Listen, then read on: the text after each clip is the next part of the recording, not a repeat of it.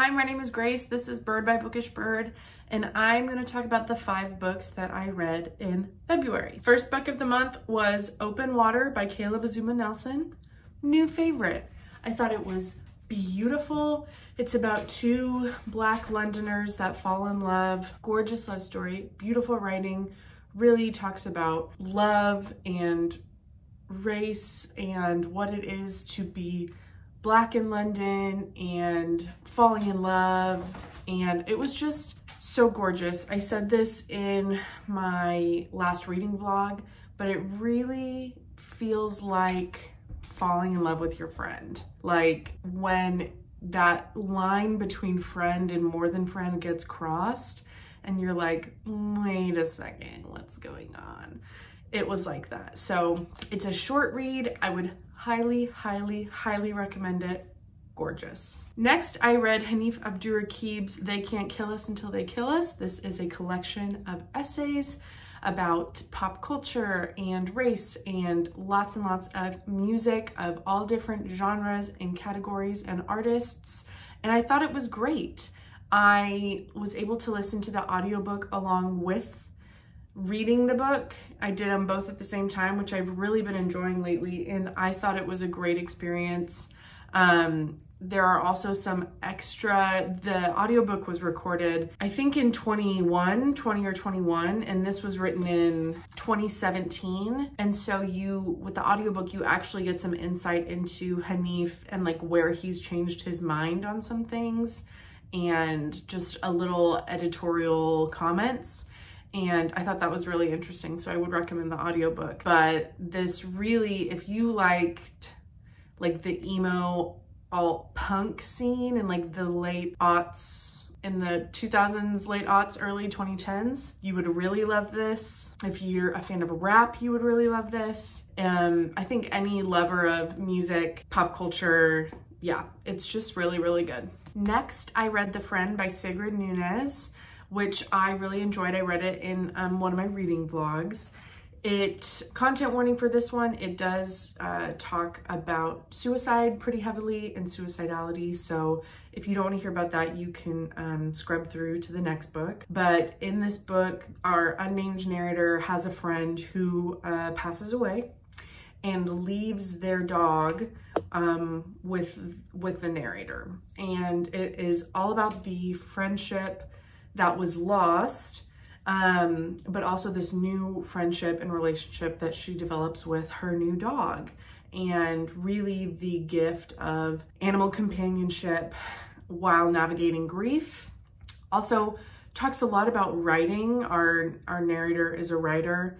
So a lot of conversations about what it means to write, why we write, and I thought it was great. It was another, I think it's like less than 200 pages. It was another great short read. I really enjoyed it and I did um, love, I loved the character arc from like the reluctant parental figure or so like at first your narrator starts out like really apprehensive about the dog and kind of resentful of the dog. And then there's just this arc of like love and it was really sweet. So that was a good one. After that, I read Delphi by Clare Pollard, just as pandemic of a novel as you can get. It is about set in 2020. Pandemic happens. This woman is stuck at home with her son and her husband. Her son, who she has a really hard time connecting with, her husband, who she doesn't really like. and you just go through the beginning stages of the pandemic and then when you're in the thick of it and you're going to visit your grandma by sitting in her front yard. I mean, it was just all of that. I don't know how much I enjoy pandemic novels. I've also read Station 11 and I just didn't love that one as much. I think, I don't know. It just, it kind of fell flat for me. Um, Delphi did. I did appreciate so I'll go back. The main premise of the book is our narrator is like a classic scholar. She's like a translator for ancient texts, I believe. But the whole book is broken up into different forms. Like each chapter is kind of through the lens of like a different way of predicting the future or like prophecy.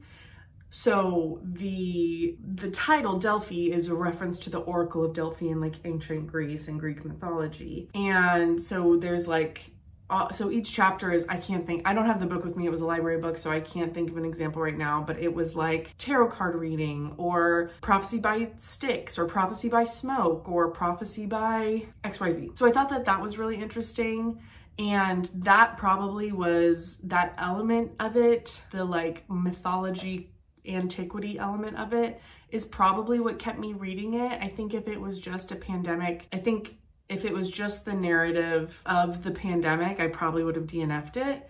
Um, it's not very long, but I would recommend it. I said this in my other video, but if you like kind of unhappy family dynamics, if you like women that don't like being mothers, if you like, if you want to relive the pandemic, that might be a good option for you. And then the last book I read in February was The Love Songs of W.E.B. Du Bois by Honorée Fanonne Jeffers and I thought this was exquisite. I thought it was just excellent. It is almost 800 pages, um, so it was quite a chunky read, but you are following Ailey and all of her family, the opposite of descendants, I don't know the word, so not the people that came after her, but the people that came before her and her family tree. So it's like homegoing on steroids. It's like very, very detailed, in-depth look of her Afro-Indigenous roots, of her roots in slavery, of her roots all across the South, and it was gorgeous. Some really difficult content, so I would check the warn the content warnings, the trigger warnings, because there were some parts that were very disturbing and really hard to read, but I do think it is an important story I think it's important to bear witness to, especially in terms of like the history of our nation and our history with slavery. Um, and stolen land. So yeah, it's just really good. I totally get how intimidating it could be, um, but I would really, really recommend it because I just thought it was really, thought it was great. And that's it. I read, you know, one really thick book, so I did not read as many books as usual, but my reading was overall pretty good. I surely cannot keep up what I did in January reading 15 books. I think I'm probably getting more into like a sustainable rhythm with my reading. But uh, overall, it was a pretty good month. Would love to hear your favorite read from February. I think mine is probably a tie between Love Songs and Open Water. I don't know. They're pretty different. I don't know which one I prefer. But I would love to hear your favorite read from February. Would love to know if you're interested in reading any of the books I spoke about today. And I want to thank you for watching. And I hope that you just have a really great day it's cold today where I am, so I hope that you snuggle up and are warm and cozy. And yeah, I'll see you in the next one. Bye.